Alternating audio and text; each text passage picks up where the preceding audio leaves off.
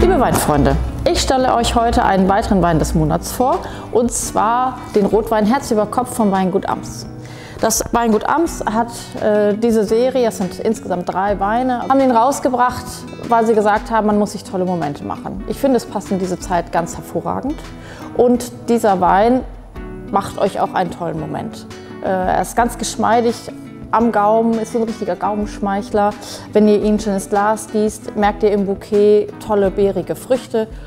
Und der Kaiserstuhl ist die wärmste Region äh, in ganz Deutschland.